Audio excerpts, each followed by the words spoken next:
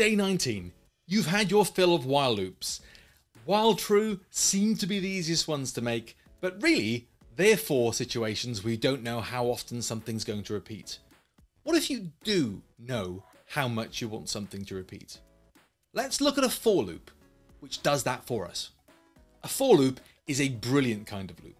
If we have an idea about how many times we want it to repeat, then we can use a for loop to loop code in exactly the same way that a while loop did, except we can get the setup of the variable, the control condition, and the increment set up within one line of code. Yes, these kinds of loops are for those of us that like efficiency. or those of us that are a bit lazy, but a for loop, regardless, is the way forward if you roughly know how many times you want to count something. So here's that while loop that we wrote a few lessons ago. And all it's doing is counting from the number 0 and stopping at the number 9, displaying all those values on the screen for us. Let's look at why a for loop is better. These two lines do exactly the same thing. Let's see. Boom! Not only is it shorter, but it has a bunch of secret tricks up its sleeve that help us loop and create variables. The way it's working is really straightforward. The for command, the first thing after it is the name of a new variable that we're going to create. In this case, a variable called counter. Then the in command tells it what set of data to make that variable equals to. In our case, we're going to use a range function. A range function, if you only give it one number, will start at zero and move to a state where the number is less than the number you've put in the brackets. So in this case, it's going to count from zero to nine. Now, the for loop has done all the heavy lifting for us. Every time the line of code or lines of code are executed and it returns to the top, we increment the variable value the for loop has created.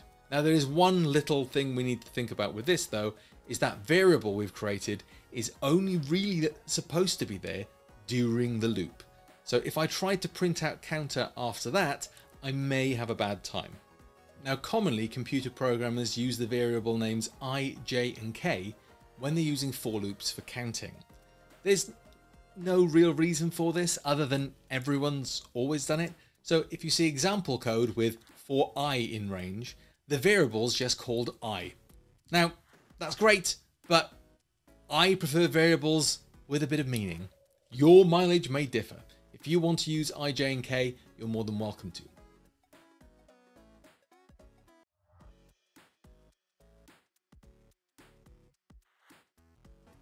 Common errors you might see. Here's an example program that is going to add together all the numbers from 0 to 99 and continually print out the total. Can you see what's wrong with it? Let's run it and see. Now it looks alright, but it's claiming that the 100 is invalid syntax, which probably means we've written something wrong. So what have we done wrong? We've missed the brackets again. The brackets are really important on the range function because it is a function. And just like the exit function we looked at a few lessons ago, it needs brackets to work. In this case, what range is actually doing is creating a list of numbers between 0 and the number that we put into the brackets. If we don't have brackets, the range function doesn't have anything to create the list with, so won't work. If we run it now, it adds up the cumulative total of all the values 0 to 99. Here's another really common error as well, and I don't really know why this happens a lot, but in this program it should be printing out day numbers 0 to 6. But it's not working, it's saying day is not defined. Pause the video and see if you can work out why. Yes, that's right, the variable name is just wrong inside the code. For some reason, this is a very common error.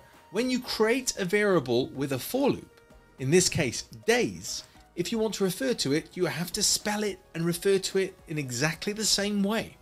Now it should work perfectly. Many people might say day zero isn't a thing, so we can even do this.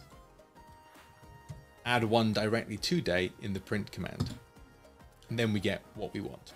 Here's some of my code that I've broken See if you can debug it for me. Please. Pretty please.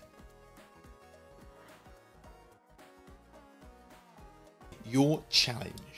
Let's do some math that might be quite practical.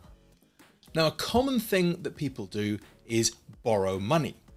Money is repaid with interest. Interest is worked out annually.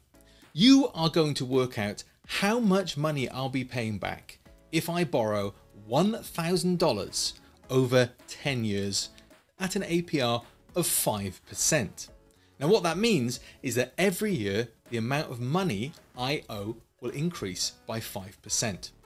I'd like you to go and work out how much I owe altogether over the course of 10 years using only a for loop and one or two lines of looped code.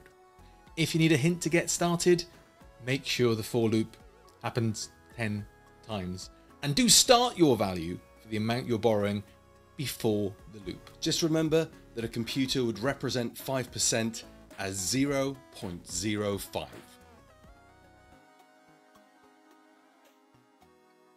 When you're done, share your code with the hashtag Replit 100 days of code and publish it to our community for other people to see your amazing work. Day 20 tomorrow, we're going to look at the intricacies of the range function because for loops are a lot more than just counting up in ones.